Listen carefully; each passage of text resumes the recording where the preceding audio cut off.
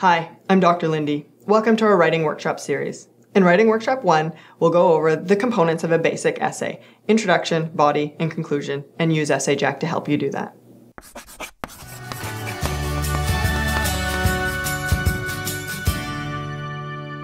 Okay, to get started, let's assume that I've been given an assignment by my teacher or my professor, my instructor, my TA, my tutor, and this assignment is to write a 500 word essay on the topic of traffic congestion. So I'm going to go into EssayJack and get started.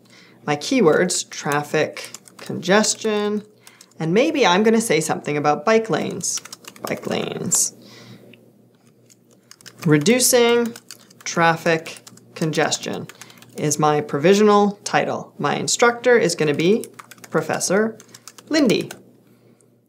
This, as I said, is going to be a 500 word essay, and let's say it's due sometime from now. So now I'm creating my EssayJack draft for this 500 word essay. Now, an essay is going to persuade somebody of a perspective that I'm going to bring to bear. Now, what you see here on the left is the overview of my essay. So all persuasive or argumentative essays have an introduction, they have a body, and they have a conclusion. The introduction sets the stage and sets out the argument. The body, and for a 500 word essay, is probably broken down into three body points. The body is where that evidence is brought to bear to prove and to support whatever it is that I'm going to argue. And then you have the conclusion to sum it all up. So let's go back to the beginning and get started. Once again, I've been given an assignment to write a 500 word essay on the topic of traffic congestion and bike lanes. So if I open up this middle section, this is how EssayJack operates. The middle section has text boxes that help to focus the writing process as opposed to staring at a blank page. My first prompt, jump right in, what's your focus? Well, that's telling me that I need to look at the question that I've been asked to write about. So once again, in this case, it's traffic congestion and bike lanes. If I need more information, I can open up this tip panel on the right hand side. And it gives me some other suggestions about getting started. The third piece that EssayJack offers in each of these text boxes for every single component part of the essay is a drop down menu of su- suggested sentence starters or sentence stems. Now, you don't have to use these ones, they're just to get your creative juices flowing, but if you want, you can just plug one in. Important data suggests that bike lanes can help reduce traffic congestion. Now, my next text box, next section of the introductory paragraph for my 500 word essay is a little bit of background. And what is background? Background is information that sets the stage that comes next. Essentially, I just want to tell my reader why this topic matters. Once again, I might look to these sentence starters to get me going.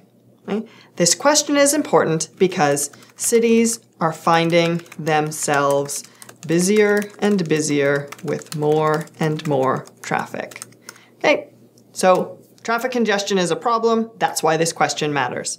Now I move on to the most important part of any persuasive or argumentative essay. It's the thesis statement.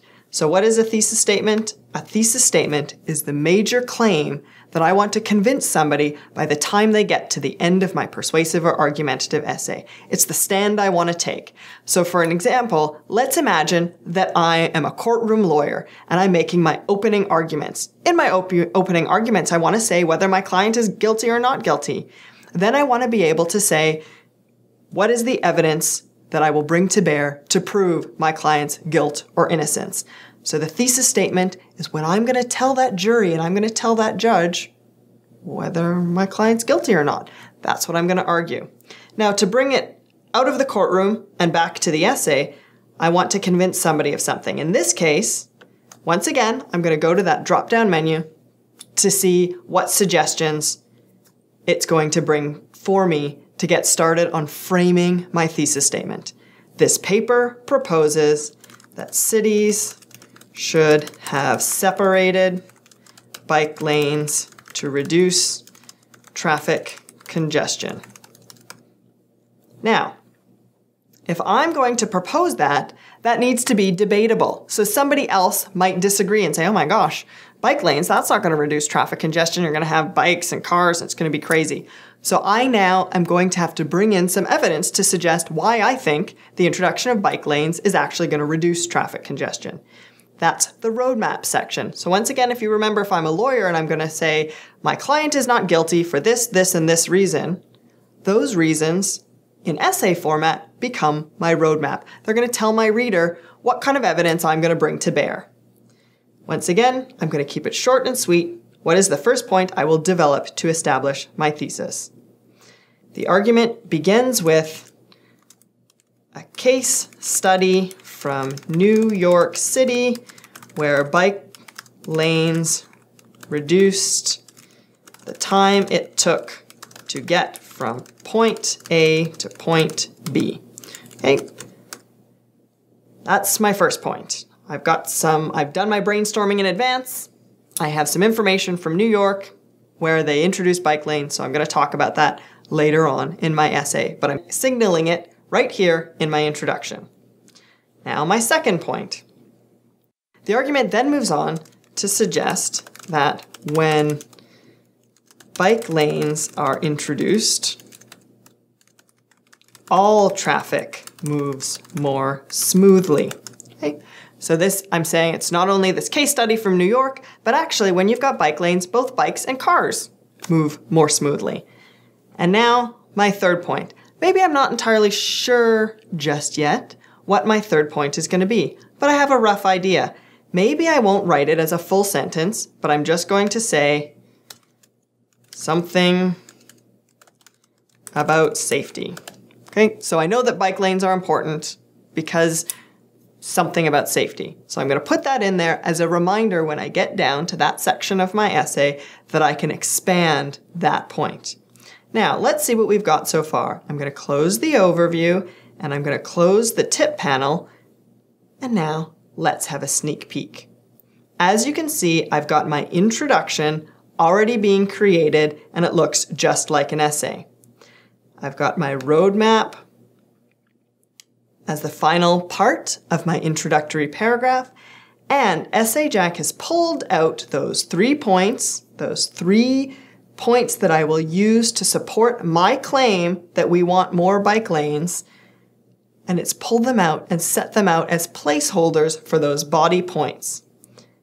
And now I can build my conclusion and what I've got right now in a few short minutes, nearly 200 words, and I've got an outline for my essay, which is comprised of an introductory paragraph, placeholders for my three points, and a provisional conclusion. At this point, I can download my outline for myself, I can email it to myself, and I can share it with somebody who might be within the EssayJack world who has permissions to see and share material with me. Or I can just keep on going and jump right in to look at my first point, which is this case study from New York City where bike lanes reduced the time it took to get from point A to point B.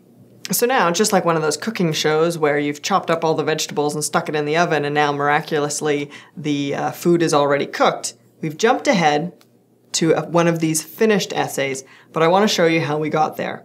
Okay, so now we're in the body section and we're looking at body point one. I've filled out the rest of the essay so that you can see what a completed essay looks like, but now I want to show you how we got there.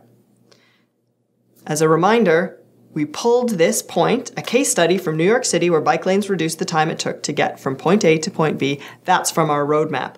Now we want to turn it into the topic sentence for this body point. To get started, let, let us examine a case study from New York City where bike lanes reduced the time it took to get from point A to point B. Okay? Now we move on to the next section, which is a bit of background. I've already filled this out. The background is that there's a study of two main roads that were five lanes of traffic, and in both cases, separate bike lanes were added, improving the overall movement of traffic. That just makes sense for my reader. What is this case study? What is it that I'm going to be talking about? And now we get to the most important part of any essay, and this is the evidence and explanation. So, for evidence, what we want to do is provide just like in a courtroom, we want to provide evidence to support the claim that we're making. So, what is evidence? Evidence is information helpful in forming a conclusion or judgment.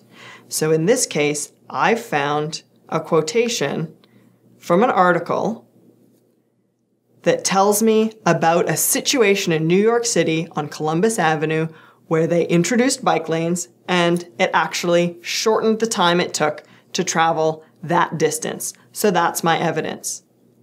But it's not enough for me to just plop that evidence in there. What I need to do next is explain for my reader why that evidence matters. In any argumentative context, in any persuasive essay, I need to have point, proof, and explanation. So right now, I need to explain how that evidence, how my proof does what I say it does. So I've gone in and I've chosen a drop down menu, sentence starter. This example shows how bike lanes actually make traffic move faster. So now I've got all of the sections, point two onwards, filled in, and I can go and look at my finished draft. I've got all of the paragraphs, including my works cited because I've added a citation to document that quotation that I put in there as evidence about traffic congestion.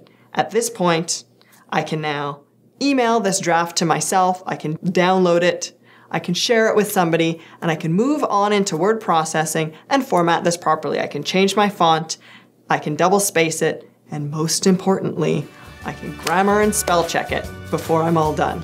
Thanks very much.